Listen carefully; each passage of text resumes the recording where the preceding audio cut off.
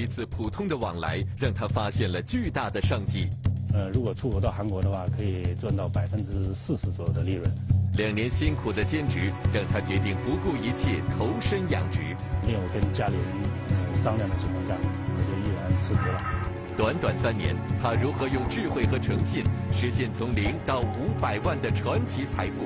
敬请收看本期《生财有道》。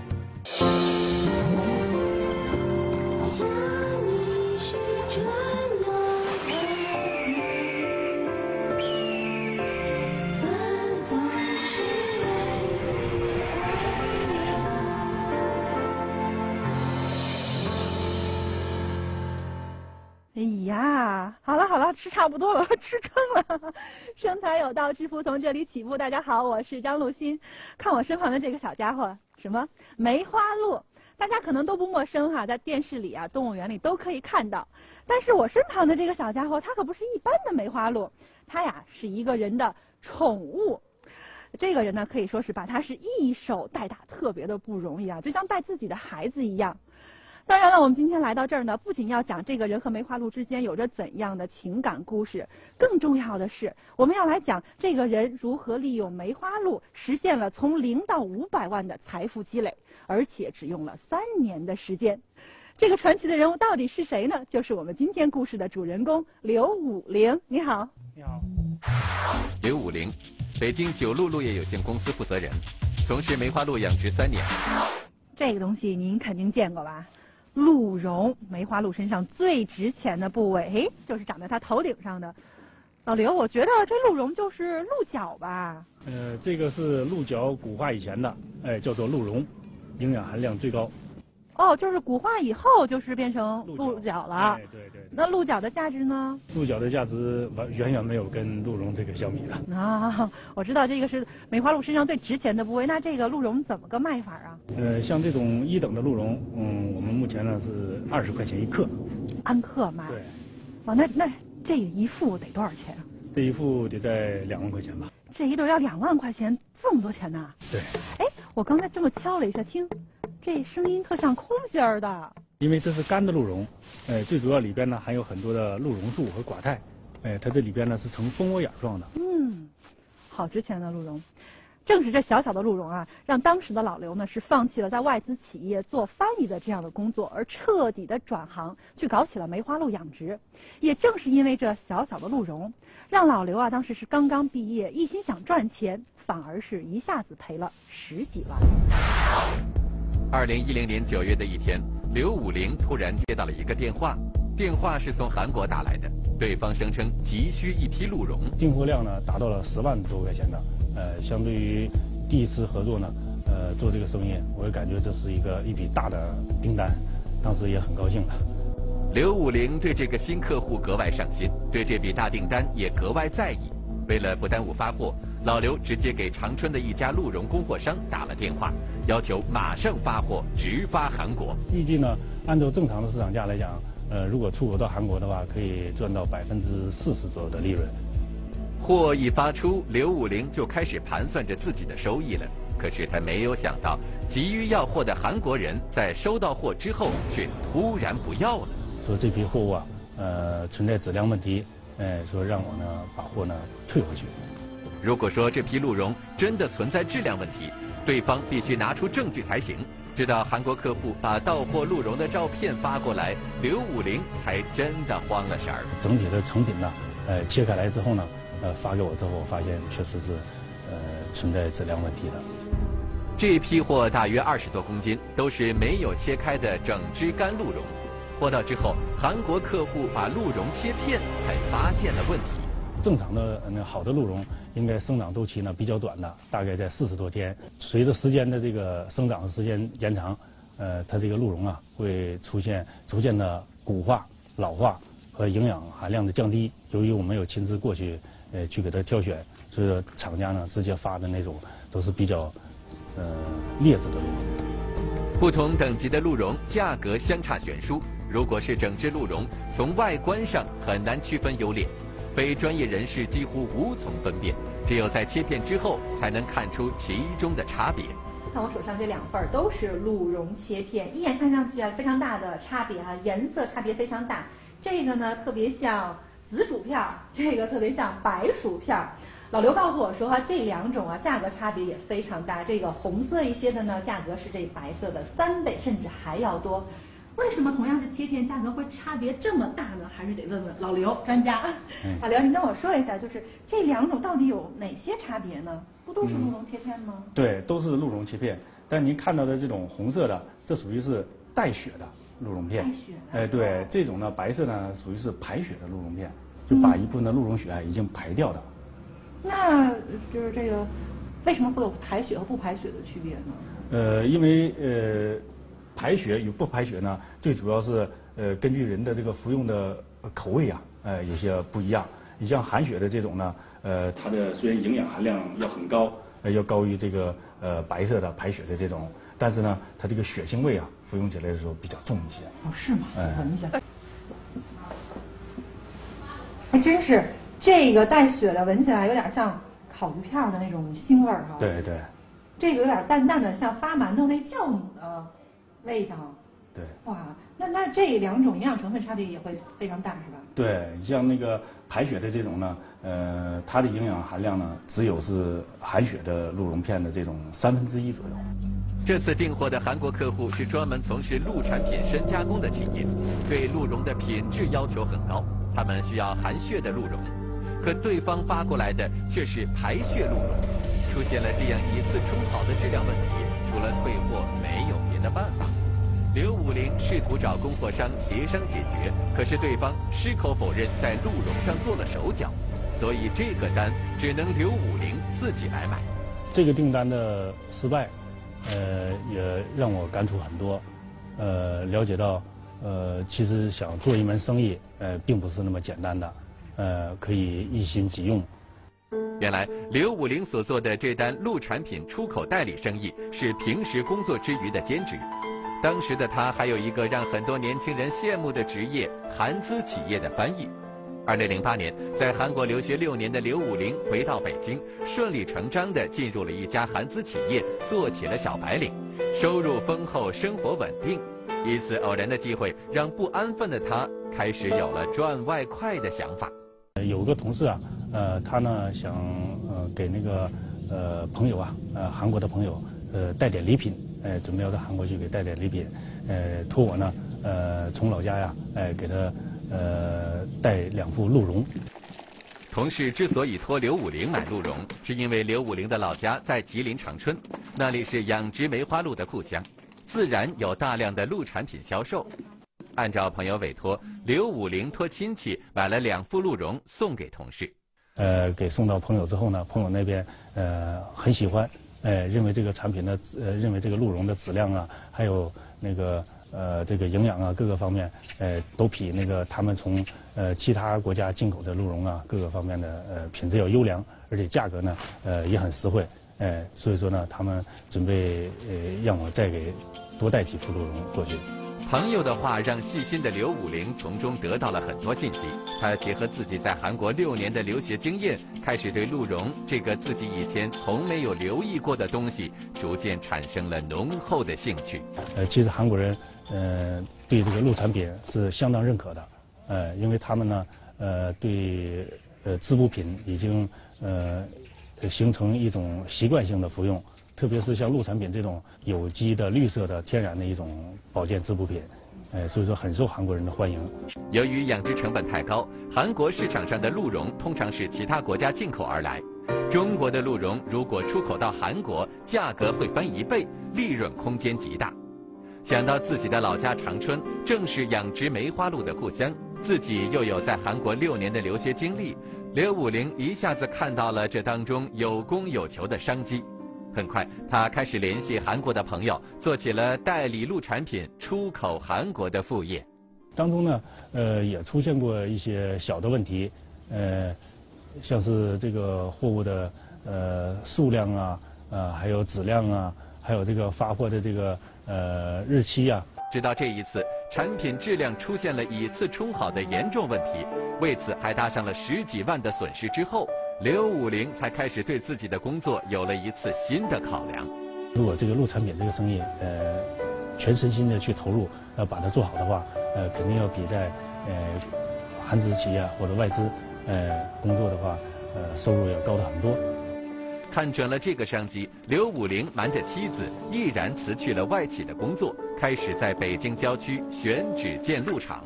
鹿场的选址啊、建设啊，呃，包括鹿总的引进呢，呃，每天呢都忙得很晚，每天都回到家的时候都很晚的时候，呃，实在是忙不住了。后来跟爱人把事情呃说出来了。我当时真的是特生气，你知道吗？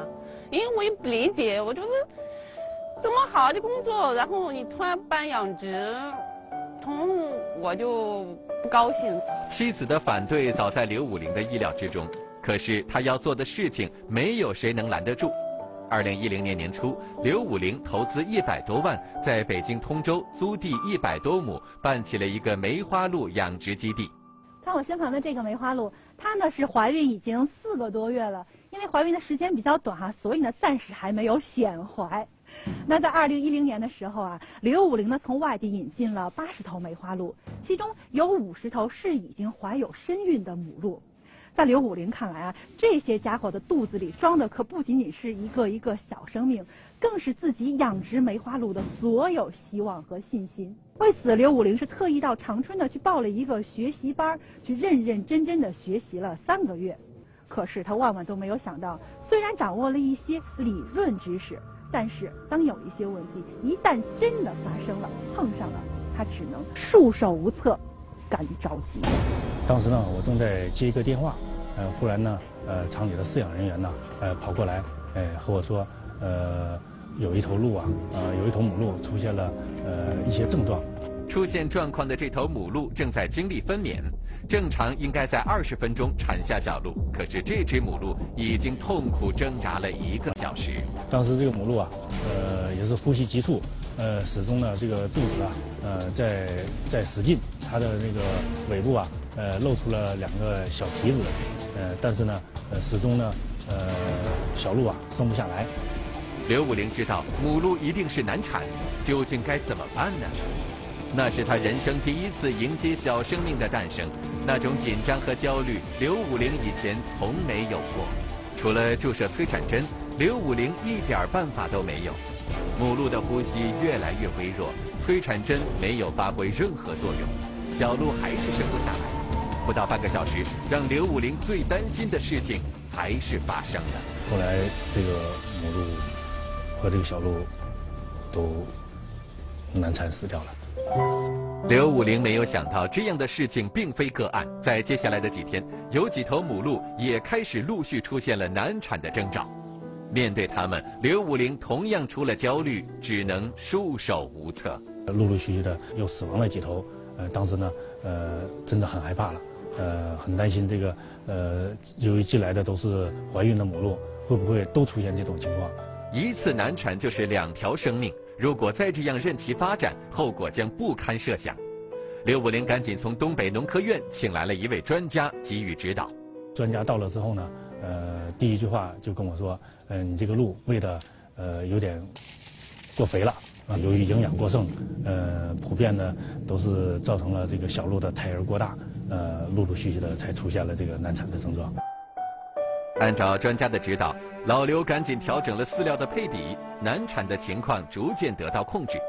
十几头母鹿都因为难产母子双亡，刘武陵的心情非常沉重。在这次危机中，只有一头小鹿在鹿妈妈去世之后幸存下来，它也就成了当时刘武陵唯一的心理安慰。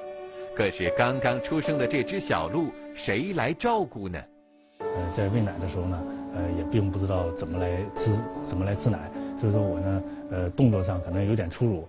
呃，当时呢，呃，我爱人呢，呃，看到这种情况就把我推开了，说，哎，对对对对，对待这个小动物，小鹿，呃，还是我来吧。因为女女的嘛，稍微细心一些，因为她也特别忙。刘武陵没有想到，对辞职办养殖场这件事一直耿耿于怀的妻子，会在这么关键的时刻给予帮助。虽然当时还没有做母亲的经验，但是对待小鹿，妻子王小燕很快就扮演起了母亲的角色。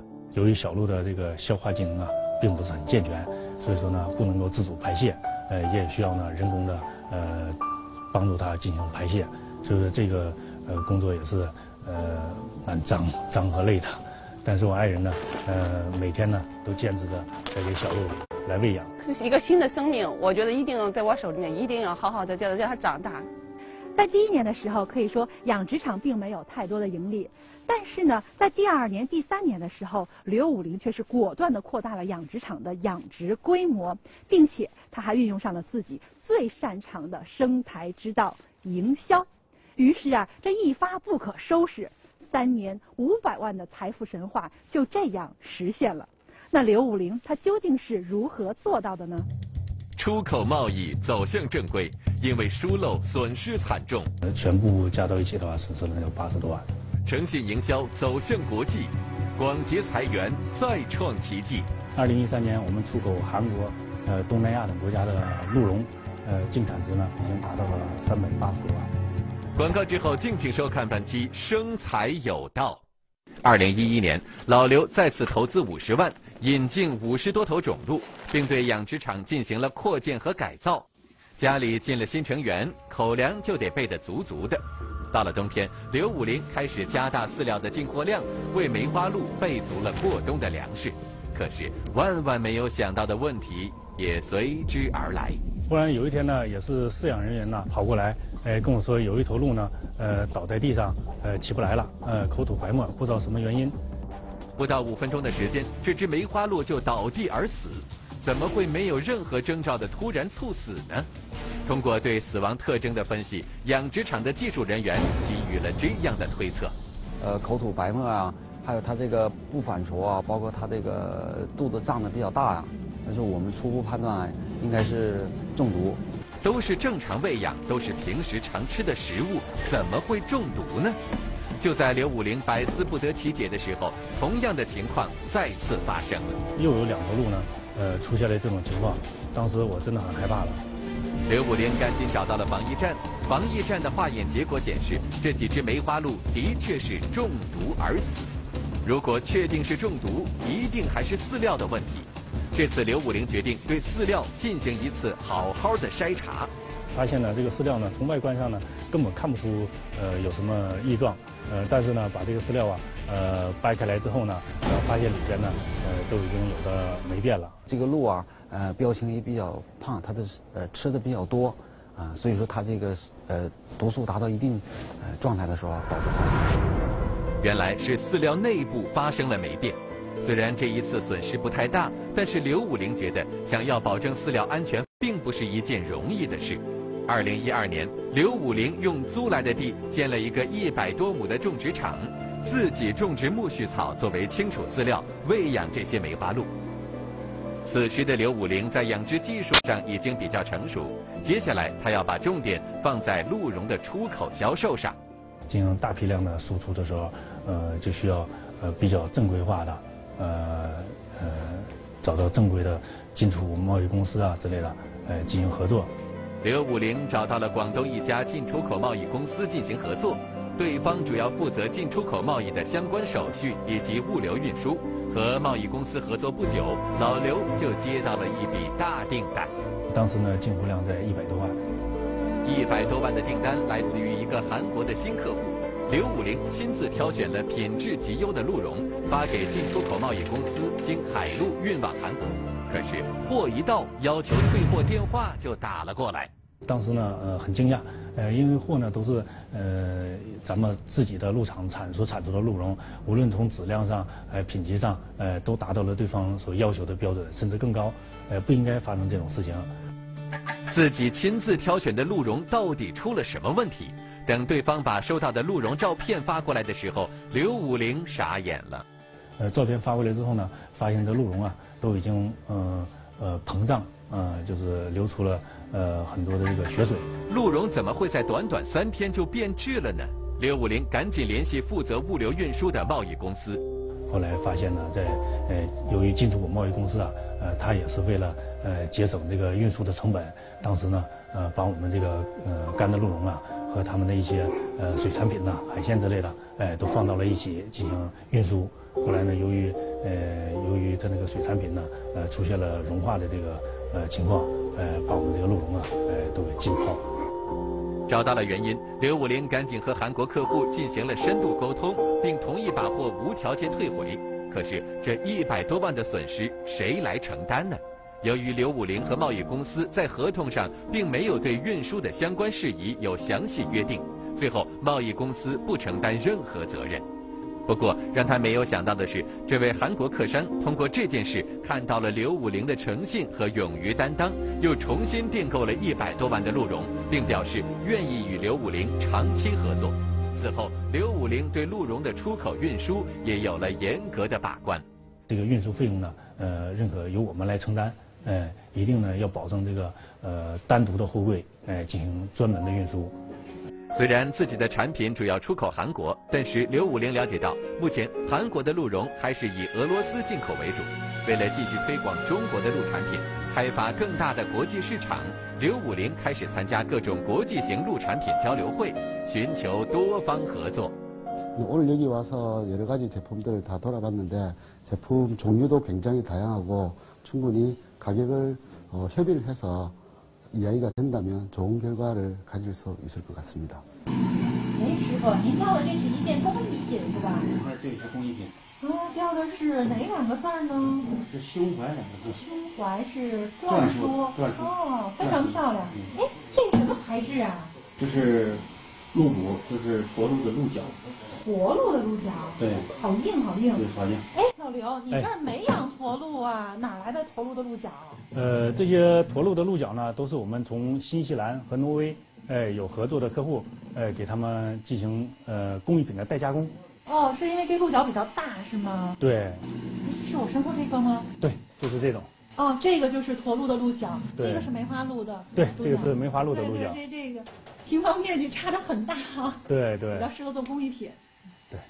你大概做这一个，要是市场上卖，能卖多少钱？呃，这个加工好的工艺品之后呢？呃，这一块可以达到六七千块钱。六七千呢？对，因为这个是国内仅有的。你现在可以啊，你看啊，这个深加工产品，吃的、喝的、用的，以及到这个工艺品加工了。嗯。这零到五百万的财富积累，只用了三年的时间，非常棒了。那你跟我说一下，你这五百万都是纯利润吗？呃，基本上都纯利润了。那这五百万当中的构成是怎么样的？呃，主要是以鹿茸产量这一块为主的。呃，嗯，以二零一三年为例，二零一三年我们出口韩国、呃东南亚等国家的鹿茸，呃净产值呢已经达到了三百八十多万。哦，鹿茸这一块儿就三百八十多万。对对对对。那其他的，比如鹿角啊，还有工艺品加工这一块嗯，像其他的工艺品的加工啊，还有那个鹿酒系列啊，鹿产品的一个深加工系列呢，呃，占有一百多万的一个利润。虽然养殖场刚刚建成三年，养殖规模已经达到了八百多头。但是这些已经完全不能满足公司的出口需求了。老刘现在开始在北京周边发展梅花鹿散养户，他的下一个目标就是把中国的鹿茸推向全世界。全鹿宴上桌啦！来，今天我要尝一下古时候只有皇上才能够享用到的美味鹿茸汤八珍之一。看看这颜色搭配的多漂亮，不知道味道怎么样。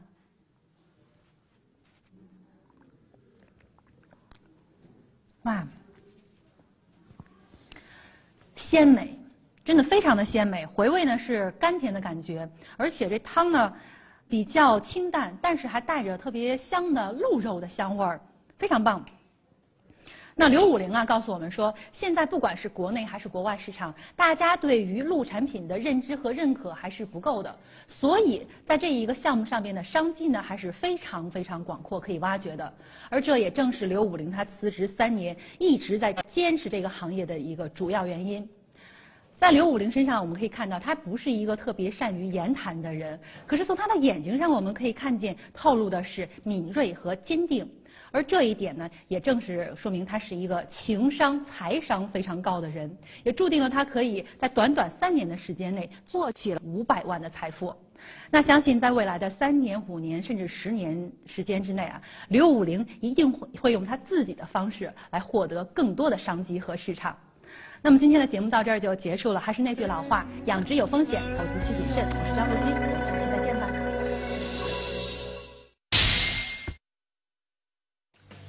他是一个地道的东北汉子，为何来到西北养鱼？